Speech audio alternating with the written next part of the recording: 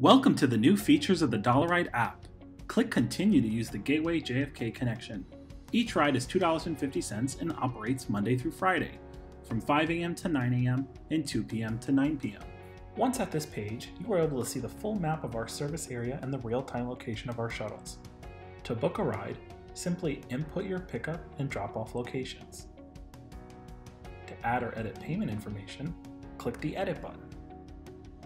Once saved, users can then select the payment method they want to use for a ride. Once payment has been added and selected, click the Continue button. On the next page, you will see the status of the shuttles on the route, as well as your intended pickup stop. Need walking directions to your pickup location?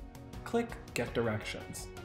When the Dollaride shuttle pulls up, we ask that you click Buy Ticket.